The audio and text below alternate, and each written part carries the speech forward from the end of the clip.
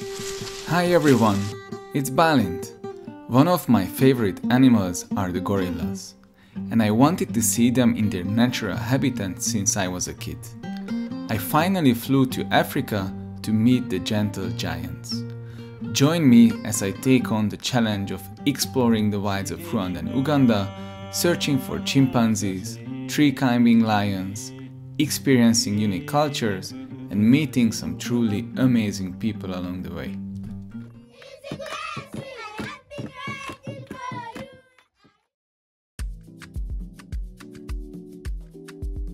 Rwanda is called the Switzerland of Africa, and its capital, Kigali, is one of the safest cities on the continent. The developed city has a modern infrastructure with authentic African vibe, hardly showing the stigmas of the recent dark past.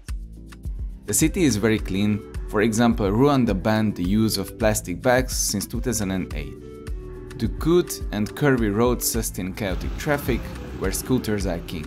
Easy to stop them for a very cheap ride, but the helmet I received looked like it was designed for Lego figures. My first stop was the local market. I was the only tourist, so I had extra attention, everyone offering me something cool. Then I visited a few more sites, closing the day with a few sunset drinks.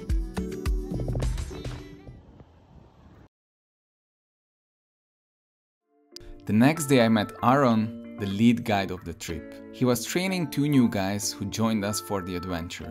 They all made their best to make sure we have a fantastic time. If you are watching, thank you so much for the Chivani vibes.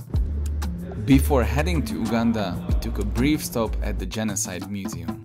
It's a shocking and interesting place. A strong message stayed with me. The only way to move forward is forgiving, not revenge. I wish it was applied in other parts of the world. Now the real fun starts. We headed to our first destination, the Kibale National Park, famous for chimpanzees. If you saw the Chimp Empire on Netflix, it was shot here. During the 400 kilometer long trip, we passed by beautiful valleys and small agricultural towns. Crossing the border was fun, I might have seen some money exchanged to speed up the process, but I might be wrong. In the tiny town next to the national park, I had a memorable experience. The hotel receptionist showed me around, being happy as tourists usually don't leave their accommodation. I learned a few local greetings, while he explained how locals build their houses and how people walk every day 10 kilometers from their homes in the nature. He also introduced me to his family and explaining the real benefits of kombucha for men.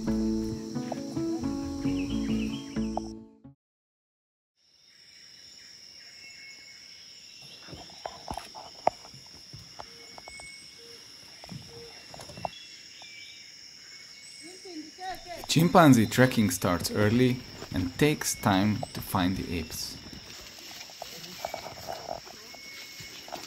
Once you get them, everyone goes into National Geographic mode.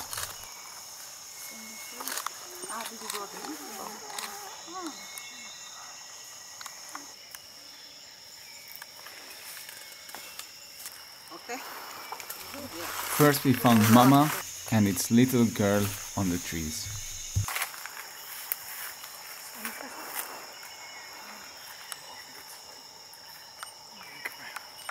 My name is Odiliso. Liso. The baby is a female? The baby is female. Ódio. Ódio. And after some walking, we found the potential papa on the ground.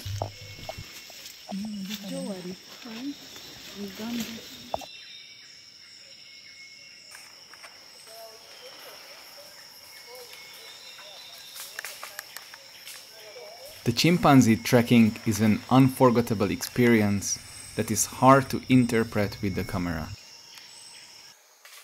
From Kibale, we started a long trip to the Queen Elizabeth National Park with a stop at the Equatorial for an experiment. Earth's surface rotates clockwise in the northern hemisphere. That's why because objects in the north are normally deflected to the right, and the vortex to the middle, And when with the leaves, you see turn uh, counterclockwise.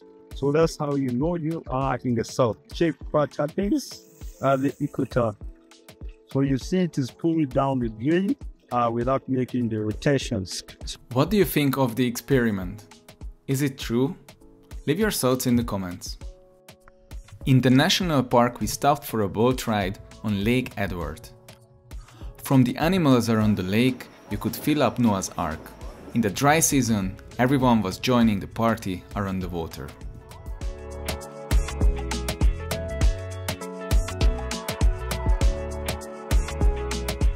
We all enjoyed the ride.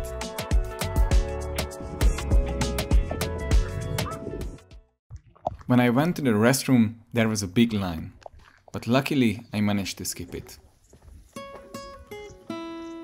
For the last hours of the day, we went for a short sunset safari, where you could see hunters and the hunted.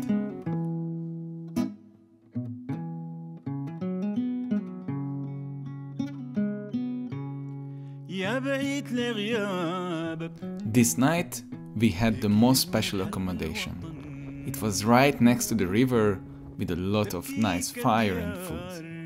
I could only go to my room with the help as there were hippos hiding in the bushes. I could hear them all night running around. Their song was like this.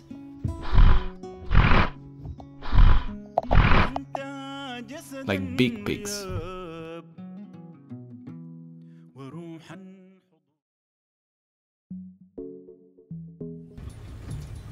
The following morning we started where we stopped, doing a sunrise safari.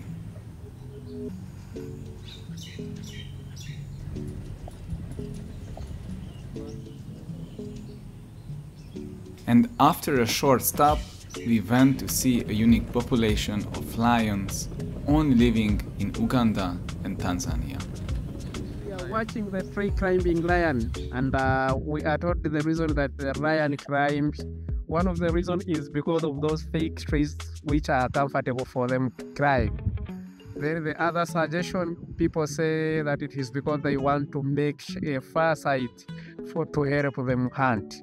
Visit Uganda with us at Safari to Gorilla Tours Limited. Lions on trees look as lazy as house cats. From here, we headed higher and higher up in the mountains on crazy dirt roads, passing by simple agriculture lands.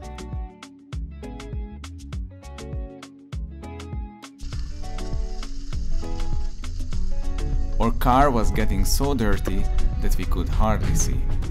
But luckily, we arrived to our final destination, the Bwindi Impenetrable National Park, home of the mountain gorillas.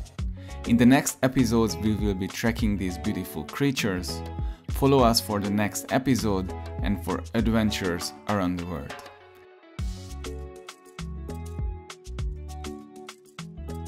Thank you for watching.